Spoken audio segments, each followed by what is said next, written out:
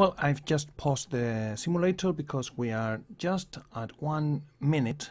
Uh, on the left side, we've got the distance, 8 nautical miles, and on the right side, if we keep our current speed, it is the estimated time to arrival at that point.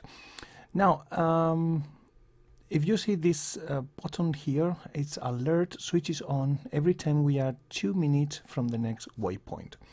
And now we have to prepare to the transonic acceleration. How to do that? Well, we're going to continue our tutorial and here we've got the instructions but I'm going to explain you first. Now before we start the acceleration, transonic acceleration, we have to check that the auxiliary inlets are shut, which are controlled by the virtual flight engineer, so do, not have, actually have to do very much. And the secondary nozzles are less than 15 degrees. Okay, let's make the, the steps one by step. These auxiliary inlets are in a new panel we haven't accessed so far, which is Control Shift number 4. Uh, sorry, this is Shift number 4, but not Control Shift number 4. And here the auxiliary inlet, we see them in the shut position as expected. Once again, this is controlled by the virtual flight engineer. Don't have to worry about that normally. Now, control shift number two, the secondary nozzles, they should be uh, less than 15. As expected, I told you that it's usually around 7 degrees. Uh, then we've got to reheat to switch them on, but we are not going to do, it, do this uh, right now. We're going to wait for it in a moment. Excuse me. Uh, well, now, things we've got to do. First, um, we are going to accelerate, so we need to deactivate the auto throttles.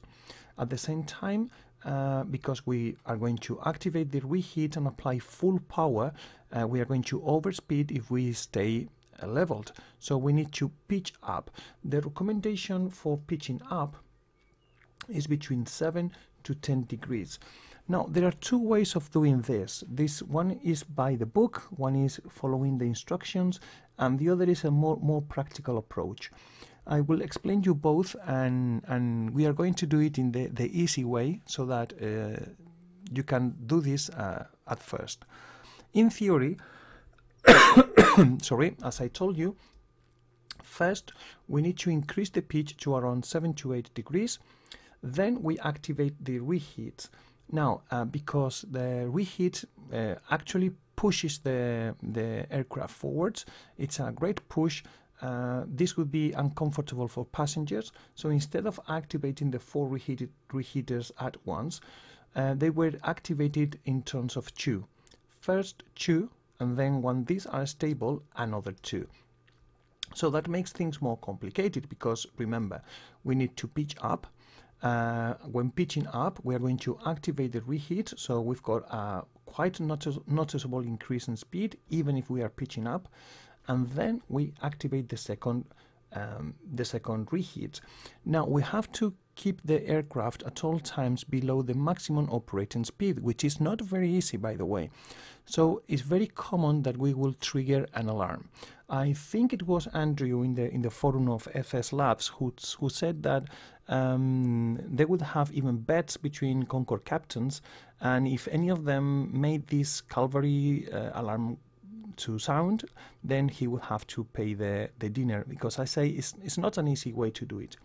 Now there's a more as a second easier approach is to pitch off the, the aircraft at first, then activate the reheat, and then there's a button here which is called max climb.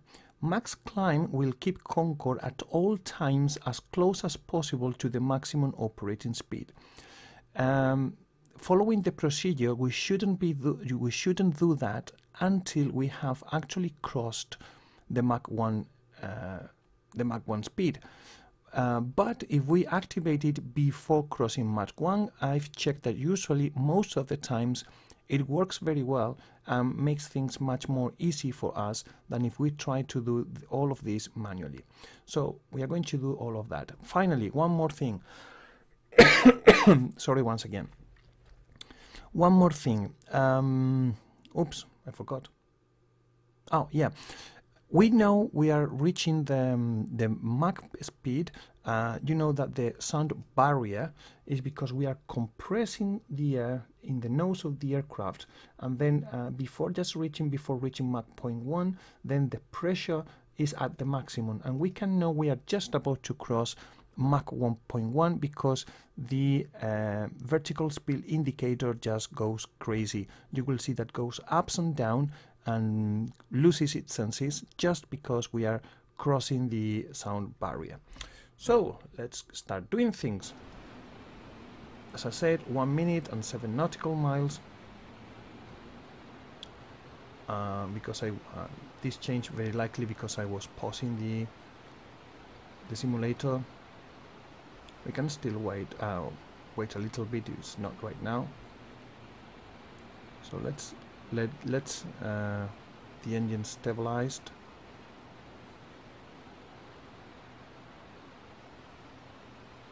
Okay so let's disengage auto throttle and now set the pitch hold. Now we set the full throttles. Oh sorry not this one oops. And here we increase the pitch pitch hold yep. Now we are one nautical mile. Now control F4 I'm going to pause uh, sorry.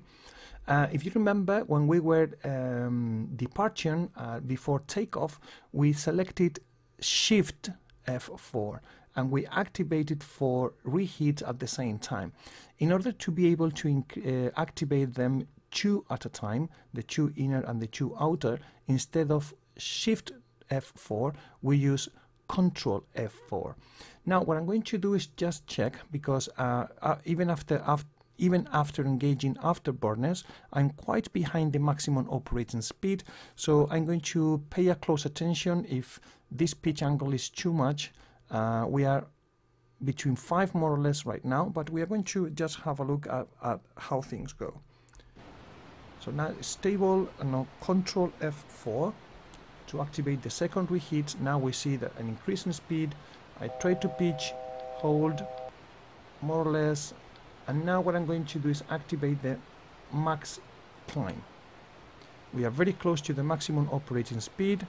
Still quite far from the Mach 1 and as you can see once the Mach climb is activated uh, we are always going to keep the maximum the operating airspeed now the vertical speed is decreasing as we get to the Mach 1.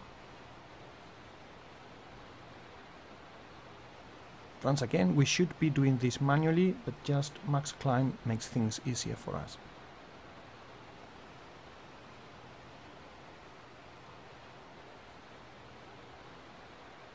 We checked for reheat are on, remember the four yellow lights.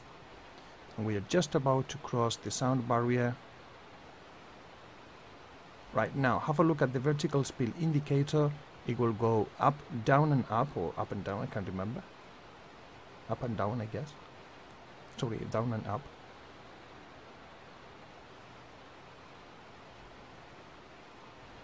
Now, Mach 1.0. Oops, I forgot something. Now what we have to do, here it goes. Um, what we have to do now, oops, no, not this one, sorry. Uh, the chrono, we have to activate the chrono to know how for how long reheat are on because reheat can only be active for 15 minutes. I'm going to pause now. Uh, reheat can only be activated for a maximum time of 15 minutes. If after 15 minutes we haven't reached Mach 1.7, then they are going to switch off anyway because uh, that's the maximum operating time. Now we've passed the sound barrier, Mach 1.0. Uh, we see that we are now at Mach 1.01 and there are several things we've got to do at this stage. First, at Mach 1.0, we have to check that the press static heaters are off because now the fuselage and especially the, the front part of Concorde is going to get very very hot because of the kinetic heating uh, due to the impact of the air with the with the aircraft then we need to deactivate this press static heater there it goes. Now the second thing we've got to do is if there is any uh, anti anti-ice engine or wing anti-icing we've got to switch it off because of this um, uh, the aircraft is going to hit with the with the air so we don't need them. Sorry. Secondly we've got some uh, transparent de-ice anti-mist uh, to have clear visibility in the visors and we can switch all of them off once again because of the heat we are not going to need them. So all them off. And then when we reach Mach 1.1 we've got to check that the secondary nozzles have been modulating. If you remember they were at 7 just before the transonic acceleration. Uh, we need to follow them and make sure that by Mach 1.1 the secondary nozzles are going to be fully open. That's with 0 degrees. Shift uh, control shift number 2 and if we see they are closing or opening in this case very very slowly and finally they will be at zero degrees. So for the time being that's everything we've got to check. The next step uh, the next step we need to check is Mach 1.3 uh, so I'm going to make a pause now and we'll continue explaining what happens at Mach 1.3 see you in a moment Mach 1.1 uh, before I have announced but uh, we're going to check that the secondary nozzles are now fully open, 0 degrees. Sometimes it's hard to get the, the values. now, and before we get to Mach 1.3, I'm just going to explain what's going to happen. Now, the problem with uh, flying at supersonic, um, and that's one of the successes of Concorde, yeah, this side. One of the, the keys of the success of Concorde over other supersonic projects is that now you see the, the, this intake is fully open and we are uh, entering the air is getting into the into the engines at speed of Mach 1.1 which is our current speed. Uh, let me check this first.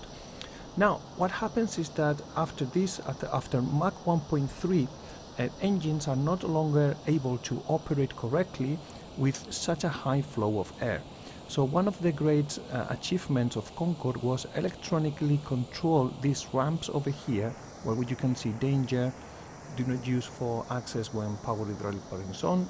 Well, these ones, now when we reach Mach 1.3, they are going to start to go down. Air is going to smash into this, these ramps, they are going to go down, and that movement is going to slow down the air. So even if flying supersonic up to Mach um, 2.0, air is going to get into the engines. Uh, i think I remember is Mach 0.75. I believe it is the speed at which the uh, at which the airflow was reduced. So uh, we are waiting for Mach 1.3, and we'll see that these ramps start to go down. So let's check how we, we are doing uh, right now. So aircraft right and shift sorry control shift 4 you see the ramps go down now? Well they are going down for the four engines and we can see the status of the ramp position in these indicators. It, they seem that they are stopped now. It seems that they are not longer working but if you have a look uh, it's not they are not going down it's that they are going down more slowly. Have a look for example at this difference where this whiter area is. In just a couple of, of minutes or seconds if you see this one just went down a little bit more yeah little by little you see this one has just gone down. So they are still going down little by little until a position oh, I can't remember my head 25 or 30 I believe is the, the lowest. Anyway at Mach 1.3 the only thing we've got to check is this that the ramps are going down. So we can go back to the cockpit. And now uh, next level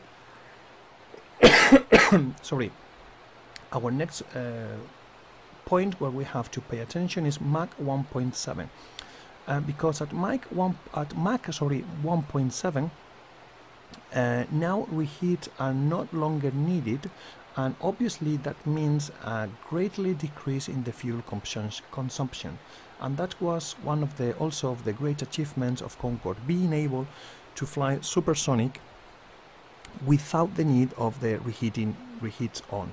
Uh, you can see that when we click on the max climb before the supersonic climb. Sometimes um, it's not perfect, uh, it doesn't get to the maximum speed perfectly, but over the time, e eventually when we get to Mach 2.0, you will see that the, um, we are actually flying at the maximum operating speed. So uh, that's why it's not the best way to do it, but um, very likely it's the easiest. So at Mach 1.7, the virtual flight engineer is going to deactivate the reheat. So we don't have to actually do anything, but we only have to pay attention and make sure that the virtual flight engineer is going to do it. If we have a, a look at the elapsed time uh, since we engage the reheat, uh, it's almost seven and a half minutes. Uh, and as I said, the maximum time would be 15 minutes. So if 15 minutes pass, uh, even if we are not at Mach 1.7, reheat will go off. Now, one very important aspect uh, that we should pay a close attention. Sorry, once again, I told you my voice is not good, but I want to finish this tutorial as soon as possible, so even if not in the best of conditions, I will go on. I hope you'll excuse me. Now have a look because we are very close now to Mach 1.7 and then uh, at the same time that we engage them two at a time, now they are going to be disengaged two at a time. One, two inner and the two outer. There we go. Now we can now stop if we want the, the chrono because now we no longer need it. Sometimes it's good to leave it on just to know uh, how long it takes to get to Mach 2.0. So well, you can leave it on. One of the key aspects is the outer temperature. Wow, ISA minus 15. That's that's very strange. That's very very very uncommon. That's why we are climbing so fast. Now with um, if you don't in case you don't know the I don't know how to pronounce this in English actually ISA I, I ISA ISA I don't know Spanish would be ISA.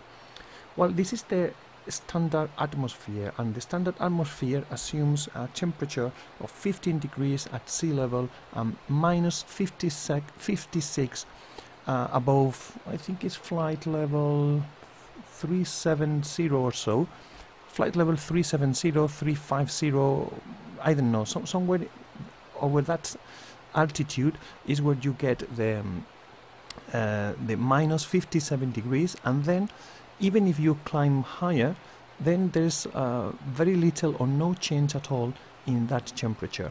So the reference speed is minus 56. With colder temperature, such as in this case, um, with colder temperatures, we are going to get a, a better uh, performance. We are going to climb faster, and we are going to reach the we are going to reach the speed of sound. Uh, sorry, the the Mach 2.0 uh, quicker. So this is good performance for climbing.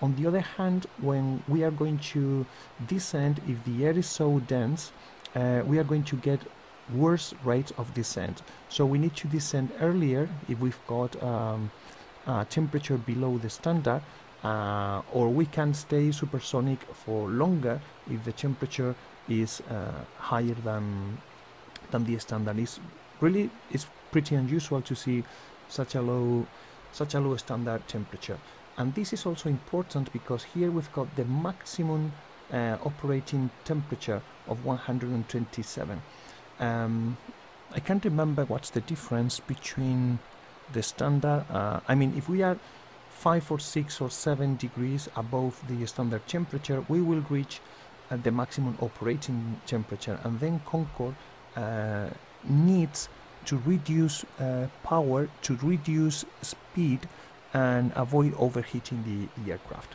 So we can see that the total temperature, uh, which means the outside temperature, but we take into account the kinetic uh, increase in temperature, and this is a, a total value of 62 and uh, we should have minus 56 if we had a standard atmosphere but because we are almost at minus 17 uh, we are the outside temperature is minus 73 so there's actually not much more things to do except one. Now we need to set our final altitude we need to set it to 50, 60,000 feet, which is the maximum operating altitude of Concorde. So even if we could climb higher, this has to be our final destination. Uh, I remind you that in order to activate this limitation, we need to activate the altitude acquire. And I also remember, because I said this before, that when flying supersonic, we do not activate the two auto throttles, but just one.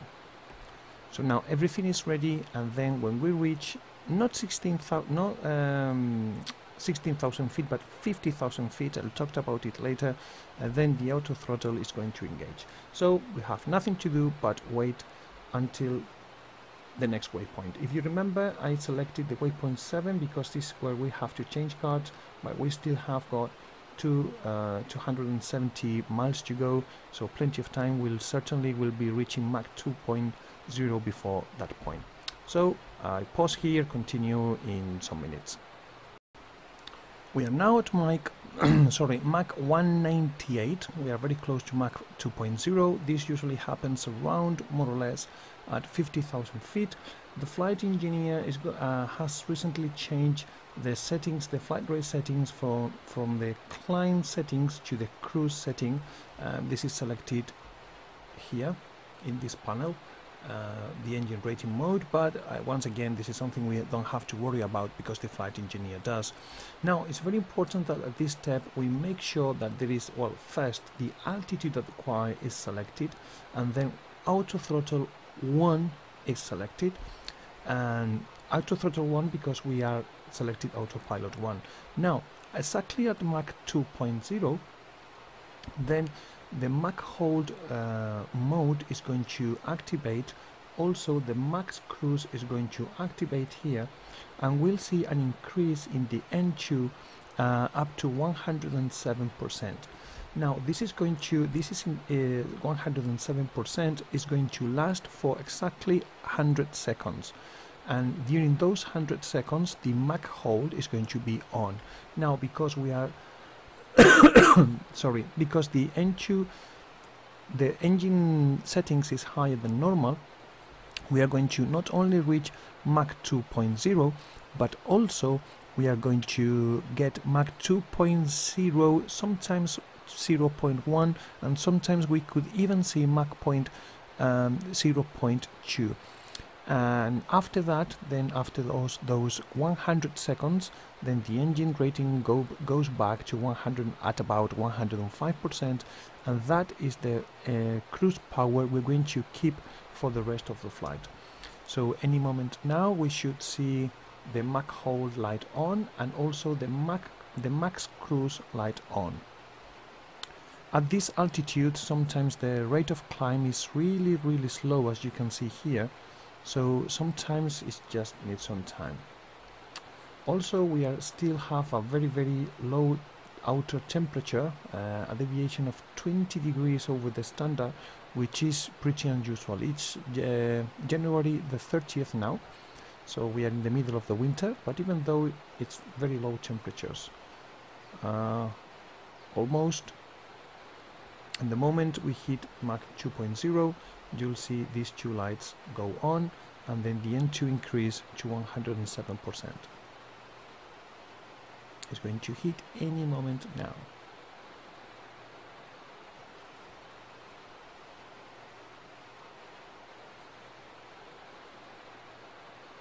Come on.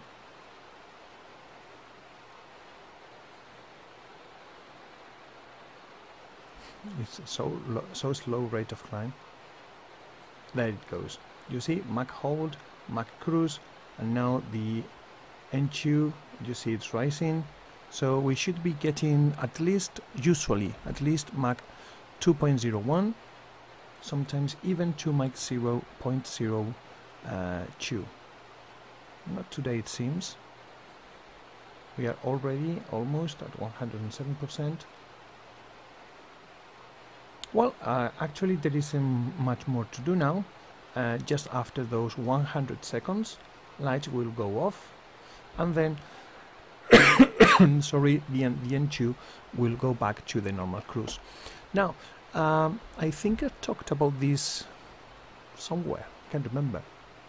The max climb and max crew mode, these two are going to stay on. The only one that is going to go off is this one. Uh, the max, max climb and max crew combined is a special Concorde uh, navigate or cruise mode that no other aircraft uh, has, which is that uh, mm, Concorde is going to head for keeping the speed of Mach 2.0. Uh, so it's going to sometimes it's going to climb very slow as we are burning fuel and we are getting lighter. Concorde is going to uh, climb little by little higher and higher so it's going to reduce the, the fuel flow.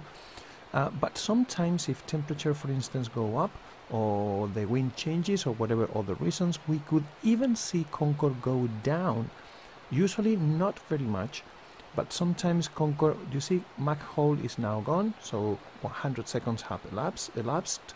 Now we reduce the throttles and usually most of the time we'll just stay with Mach 2.01 for the rest of the flight so as I said, this max climb and max cruise, was a very special uh, mode because it's not like a traditional step climb.